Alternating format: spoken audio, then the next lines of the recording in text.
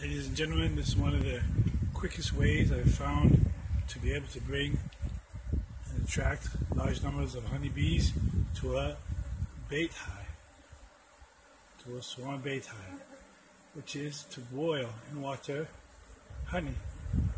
And it's carried by the steam and it goes very far quickly. And the bees' strong sense of smell, they are attracted to steam of honey uh, honey being boiled quickly and they come to your bait hives in large, lovely numbers.